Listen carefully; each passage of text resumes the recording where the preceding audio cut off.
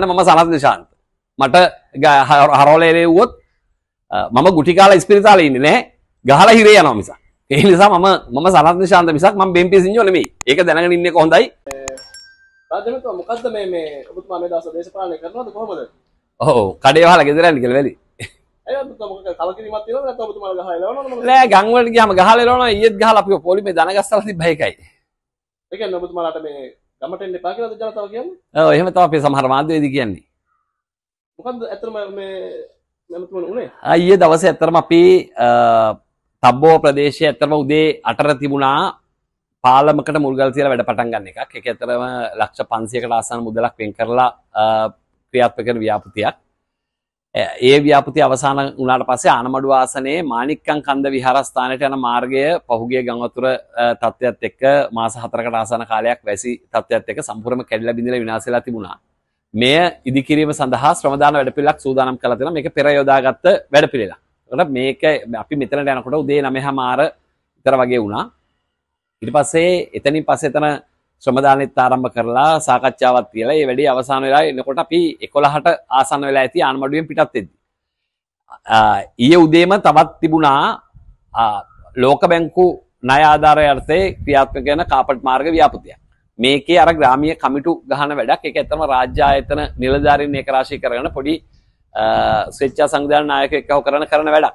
මේකෙදී මේක තිබුණේ ඇත්තම කල්පිටිය බල් ප්‍රදේශයේ මේ සඳහා මමත් සාකච්ඡා දෙකක් තිබුණා උදේ 9ට එකයි 11 මාරට එකයි මට මම එහෙක ආනමඩුවෙන් පිටත් වෙන්න යද්දි මට කල්පිටියේ ප්‍රදේශයේ ඉන්න අපේ පියතුමා පුතේ මෙන්න මෙහෙම ප්‍රශ්නයක් ඇති වුණා. එතන වාට විරුද්ධව හැදිච්ච එකක් නෙමෙයි වෙනත් කෙනෙකුට තමයි මේ තත්ත්වය ඇති වුණේ.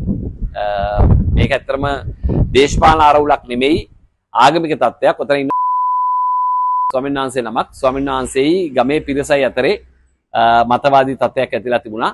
ඒතොර අපේ දේශපාලනය කරන කෙනෙක් උදව් කරනවා කියලා ඒ ගමේ ජනතාවගේ පොඩි විරෝධතාවයක් හැදිලා තිබුණා.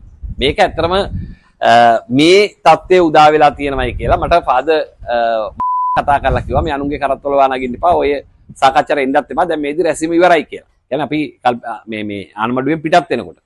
එසා අපි කොහොම නමුත් පළවෙනි සාකච්ඡාට ගියේ නැහැ දෙවෙනි එකට ගියේ අපේ ප්‍රදේශයේ ඉන්න කියලා ජ්‍යෙෂ්ඨ මාධ්‍යවේදියෙක් එතුමා අද පත්තරේ හෙඩ්ලයින් දාලා තුනා සනත් නිශාන්තට ලොකු විරෝධයක් ගමින් එලෙව්වයි කියලා. අතරම එලෙව්වද නැද්ද කියලා එළවනවද නැද්ද කියලා බලන්න මට ගමට යන්නත් බැරුව ගියා මං ගමට ගියෙත් නැහැ. ඇත්තම ඔය පළවෙනි රැස්වීමට මට යන්න පුළුවන් කමක් තිබුණෙත් නෑ මම යොදාගත්ත වැඩ නිසා මගේ ආසනෙත් නෙමෙයි අපේ චින්තකමල් මයදුන අපේ පාර්ලිමේන්තු මන්ත්‍රීතුමාගේ ආසනයේ වැඩපිළිවෙලක්. ඒ නිසා පළවෙනි රැස්වීමට මම ගියේ නෑ දෙවෙනි රැස්වීමට තමයි ගියේ මම අද උදේ පත්තරේ විස්තරේ ගියේ තමයි මාව එළෙව්වයි කියලා මේ මේ නිවුස් එකක් ගහලා තියෙන මේක සම්පූර්ණ බොරුවක් ප්‍රතික්ෂේප කරනවා. ඒ නිසා පැහැදිලිව කියන්න ඕන එහෙම ওই චන්ඩි බණ්ඩි එලවනවා නම් එව්වට බයි අපි හැරලා එන්නේ නෑ. ඒ නිසා මතක තියාගන්න මම සනත් නිශාන්ත. මට හරෝලේ එව්වොත් මම ගුටිකාල ස්පිරිතාලේ ඉන්නේ නෑ.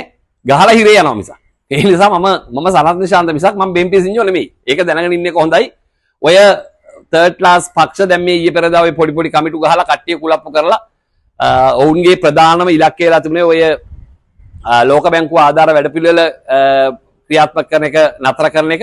මම නිලධාරීන්ගෙන් අහුවා මොකද්ද උනේ කියලා නිලධාරී කිව්වේ ඇත්තරම මේක වර්ල් බෑන්ක් ප්‍රොජෙක්ට් එකෙන් කිලෝමීටර් 5කට වැඩි ප්‍රමාණයක් කාපට් කරන එකේ කමිටුව ගහන තැනට ජනතා විමුක්ති පෙරමුණට සම්බන්ධ හතර දෙනෙක් ඇවිල්ලා එයාලා අර වෙන පළාත් සභා පාරක බෝක්කුවක් හදන්න කියලා වර්ල් බෑන්කේ කට්ටියට කියනවලු. පිස්සුවනේ ඉතින් උට තීරණය වෙයි වර්ල් බෑන්කේ කට්ටියට පළාත් සභාවේ පාරවල් හදන්න බැහැයි කියලා. ඒ නිසා ඒ අදාළ ව්‍යාපෘතිය තමයි ඔවුන් ක්‍රියාත්මක කරන්නේ.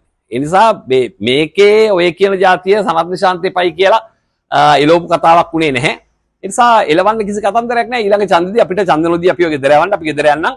හැබැයි ඡන්ද දීලා පත් කරාට පස්සේ ඡන්දින්න බණ්ඩින්න බයේ අපි දාලා දුවන්නේ නැහැ. ඉසාර පහුගිය දවස්වල අපි නැති වෙලාවක අපේ ගෙවල් ගිනි තියලා ගිහිල්ලා තිබුණා මම ඇත්තටම හිටියේ නැහැ. මොකද මම ගෝල් පේස් පැත්තේ අපි ගිහිල්ලා හිටියේ අර සංග්‍රහයක් දෙන්න ගිහිල්ලා තිබුණා. ඒ සංග්‍රහයට සහභාගී වෙලා මම කොළඹිද්දි තමයි අපේ ගේ ගිනි තියලා තිබුණේ. මම හිතලා අපේ ගෙදරට ආපු කට්ටියට අපිට සංග්‍රහයක් දෙන්න පුළුවන්කම තිබුණා. මගේ සහෝදරයා රක්ෂිත බන්ධනාගාරගත වෙලා තිබුණා. මොකද ඔය ඊට ඉස්සෙල්ලා අපේ ගේ ගිනි තියන්නයි කියලා කට්ටිය එක්කව කරලා පේස්බුක් දාපු හතර දෙනෙකුට සංග්‍රහයක් දුන්නයි කියලා චෝදනාවට. ඒ නිසා මමත් හිටියේ නැති වෙලාවක අයියත් හිටියේ නැති වෙලාවක පාළු ගෙදර වළම්බින්ද වගේ ගේ ගිනි තියලා තිබුණා. ඒ නිසා ගෙවල් ගිනි තියලා අපිව බය කරන්න පුළුවන් කමක් නැහැ. ආ, සහ ඊළඟට ගමට යනකොට අපිව එලවනවයි කියලා කවුරු හරි හිතන් ඉන්නවා නම් අපි ජනතාවත් එක්ක ඉන්න මිනිස්සු අපි ජනතාවගේ හදවතේ ඉන්න මිනිස්සු ජනතාවට ජනතාව අපිට අපිව එලවන්නේ නැහැ කියන විශ්වාසය අපිට තියෙනවා. සහ ඔය කියන ජනතා විමුක්ති පෙරමුණට අපිව එලවන්න බලාපොරොත්තු වෙමින් ඉන්නවා නම් එන්න කියන්නකො මූණට මූණ හම්බෙමු. නැති වෙලාවක පාළු ගෙදර බලන් බින්දින්න එපා මූණට හම්බෙමු නේද? මොකද සලකන්නක් තියෙනවනේ. ගලුදොල ටිකක් තියෙනවා බේර ගන්න හම්බෙමු. දැන් ඉතින් මේ ඡන්ද වැඩ පිළිලක් තියෙනවා. මූණට මූණ හම්බෙමු. අපි බලාපොරොත්තු වෙන්නේ. බොහොම ස්තුතියි. අපි දැක්කම තමයි මේ දවස්වල මේ මේ දැන් මාධ්‍යවේදීතුමකටත් මේ කියලා කතා කියලා කියන කෙනෙකුට මේ ඔබතුමා තර්ජනයක් කරා වගේ එකක් දැක්කා අපි නිකන් මොකද්ද? නෑ නෑ අපි දන්න අඳුර හොඳ එකෙක් මම ඌට කතා කරලා කිව්වා අයියේ ඔය 2.50 වැඩ කරන්න එපා. මම නොගිය එකකට මම මාවෙලෙව්වයි කියලා බොරු ප්‍රවෘත්ති දාන්න එපා. ඔයිට එරිය හොඳයි උඹ ගණිකා වෘත්තේ එදියන් කියලා. සල්ලි නැත්තම් වරෙන් මම සල්ලි ටිකක් දෙන්නම් කියලා කිව්වේ. ඒ නිසා සුදුරෙද්දක් කියලා හිඟා කෑවා නම් හොඳයි මාධ්‍යවේදී ඔය වගේ 2.50 වැඩ කරනවට වඩා.